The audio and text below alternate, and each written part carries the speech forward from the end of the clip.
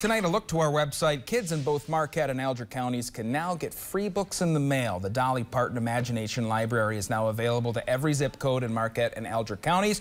You can check out that full story on our website, uppermichigansource.com.